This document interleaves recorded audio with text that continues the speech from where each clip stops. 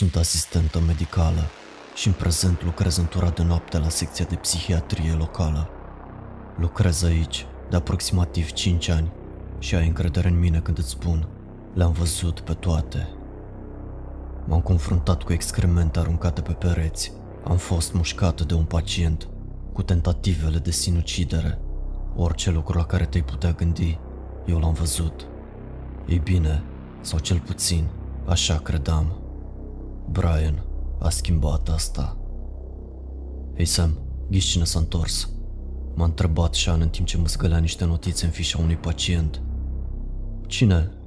A fost greu să ghicesc când vedeam, în mod repetat, aceiași pacienți. Întotdeauna am glumit despre cât de potrivit era faptul că ușa noastră din față era literalmente o ușă rotativă.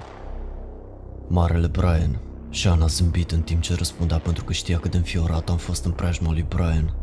Din nou, le-am văzut pe toate, așa că majoritatea pacienților nu mă supără.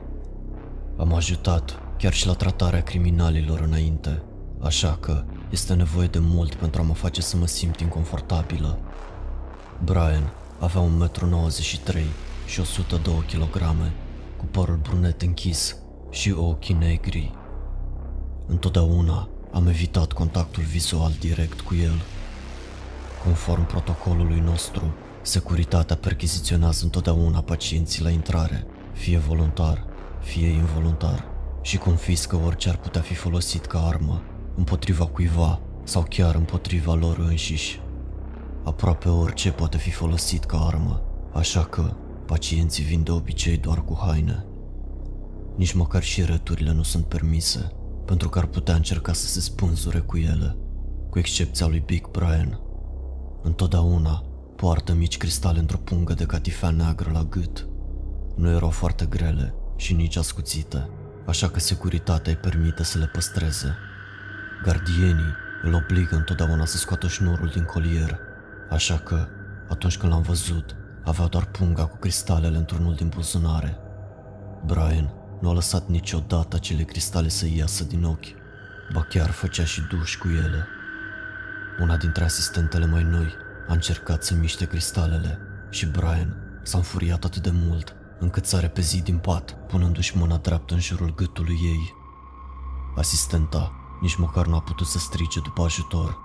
Nu sunt sigură dacă este pentru că el o ține atât de strâns de gât sau dacă era încremenită încât nu mai putea scoate niciun sunet. Inutil să spun că nu a rezistat prea mult. Biata fată a tremurat atât de tare după atac încât abia a putut să ajungă la spitalul de peste drum pentru a fi verificată, așa că Sean a fost destul de drăguț să o însoțească. Întotdeauna are grijă de colegii săi și nu a trecut prea mult timp până când a devenit cel mai bun prieten al meu aici. În ce cameră se află? L-am întrebat pe Sean, sperând să le vit pe Brian dacă este posibil. 6. Îi se potrivește, nu crezi? Mă tachina Sean. Of, mi-am dat ochii peste cap. Crezi în satana și veneratul diavolului și ce alte rahaturi mai vorbește Brian? Sean a ridicat din umeri, luând o mână de chipsuri și l-a băgat în gură de parcă n-ar fi mâncat toată ziua. La cât de ocupați eram, probabil că de fapt nu mâncase toată ziua. Nu știu, adică cu siguranță nu cred în asta. Tu? Nu. Cred că există suficient rău în această lume, încât orice idee despre un diavol sau satan nici măcar nu se apropie de cantitatea de rău pe care o vedem. Sean a încetat să mestece. La naiba Sam, asta a fost o remarcă întunecată. Am scris câteva notițe pe o diagramă. Da, ei bine, tatăl meu a fost polițist. El a văzut răul curat. Sean a privit în jos, evitând să vorbească despre tatăl meu mort. Știa că e mai bine să nu continue acel subiect. A băgat mai multe chipsuri în gură. Este singurul lucru pe care l-ai mâncat azi? Am întrebat. Da, știi cum merg nopțile cu lună plină. Nici o secundă pentru noi înșine, să mergem la toaletă sau să mâncăm. Sean a continuat să devoreze jumătate din punga de chipsuri de dimensiune mare și, în cele din urmă, și-a șters mâinile pe pantaloni și a întrebat. Deci, vei ajunge în geanta lui Big Brian în seara asta? Mi-am scuturat gândul înfiorător din minte. Acesta Este celălalt lucru cu Brian.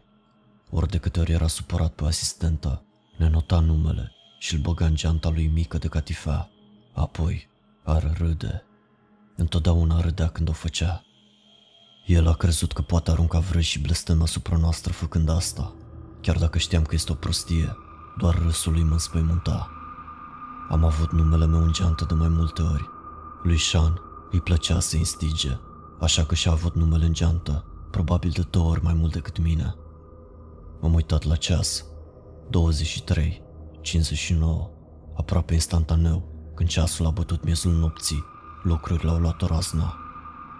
Lasă-mă naibii în pace! Brian urlă în timp ce și arunca brațele în aer, apucându-și mica lui geantă de catifea neagră.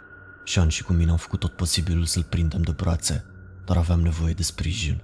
În cele din urmă, securitatea a intrat în cameră și am încercat să-l punem cu toții pe Brian în patul lui, astfel încât să-i putem fixa manșeta de pat și să-l sedăm. Sean a reușit să prindă partea dreaptă a lui Brian de pat cu ajutorul securității. Îmi apăsam toată greutatea corpului pe partea stângă a lui Brian, când acesta a încetat brusc să se zbată și a întors capul atât de repede și atât de tare, încât jur că am simțit vânt pe obrazul meu. S-a uitat în ochii mei și cumva ochii lui negri s-au întunecat. Un val de frisoane mi-a coborât pe șira spinării și am înghețat. M-am uitat hipnotizată. Brian și-a coborât încet cealaltă jumătate a corpului în pat și de parcă ceva camuflaj ar fi dispărut de pe fața lui, a încetat să țipe și a eliberat încet un zâmbet. Sunt bine, sunt bine, șopti Brian. Am ezitat să ne eliberăm strânsorile, dar după aproximativ un minut l-am eliberat în cele din urmă și l-am privit cum se întindea în pat și râdea în liniște singur. Și-a deschis geanta neagră de catifea, a scos o bucată de hârtie din buzunar și a pus-o în geantă. Zâmbetul lui a crescut în timp ce și-a înclinat capul și s-a uitat direct la mine. Înainte să pot întreba, Brian a spus Asistentă Samantha, ești în geanta mea acum. Brian a închis ochii și a balansat capul pe pernă și a început să recite un text într-o limbă pe care nu o înțelegeam. Ex adu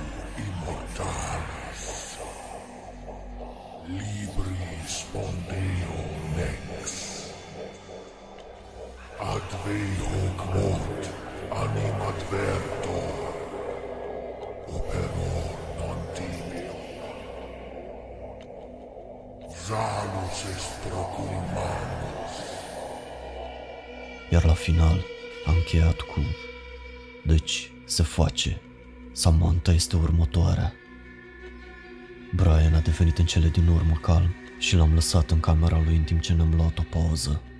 Shana a prins o țigară și și-a ținut pachetul întins spre mine pentru a-mi oferi și mie una. Da, este una dintre acele nopți, spuse el. De obicei nu sunt fumătoare, dar în nopțile grele mai iau câte una de la Sean. Ți-ai făcut griji pentru rahat acela de vraj voodoo? Întrebă Sean în timp ce pufăia. Nu, no, am mințit. Aerul s-a simțit dens în restul nopții. Simțeam o greutate constantă pe piept și îmi doream doar să ajung acasă.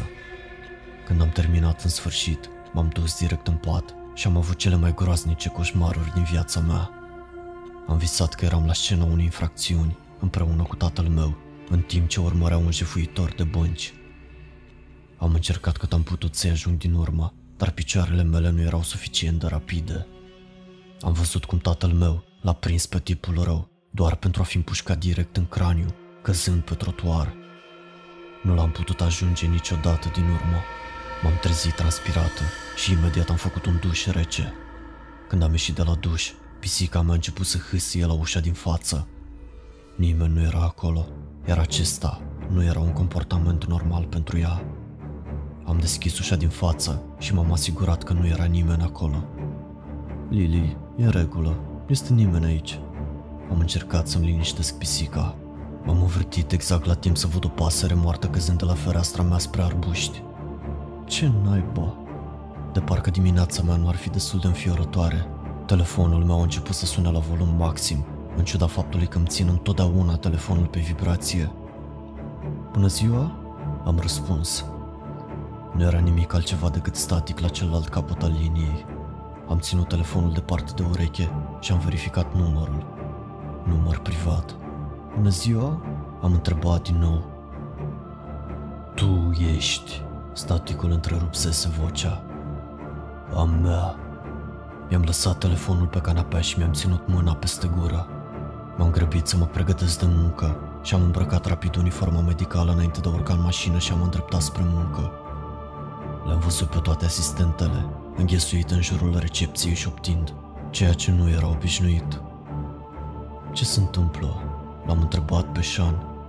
Brian a scăpat aseară. Cum este posibil asta? Aproape am țipat.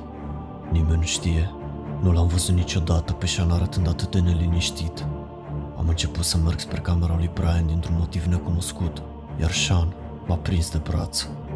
Nu ar trebui să intri acolo. De ce? Ai încredere în mine. Mi-am desprins brațul din strânsoarea lui Sean și am continuat spre camera lui Brian. De îndată ce am dat colțul și am stat în pragul camerei lui, am încremenit. Cu sânge roșu aprins pe peretele camerei sale scria Ești a mea, Samantha. Am simțit că mi se luminează capul și am observat fereastra larg deschisă. M-am dus încet spre fereastră și m-am uitat la cele cinci etaje până la pământ. Cum o fi scăpat? În timp ce mi-am îndepărtat corpul de la fereastră, am simțit o respirație pe gât. Mi-am închis ochii și mi-am ținut respirația. O voce slabă, pe cel mai profund ton pe care l-am auzit vreodată șopti. Samantha. M-am învârtit, dar camera era goală.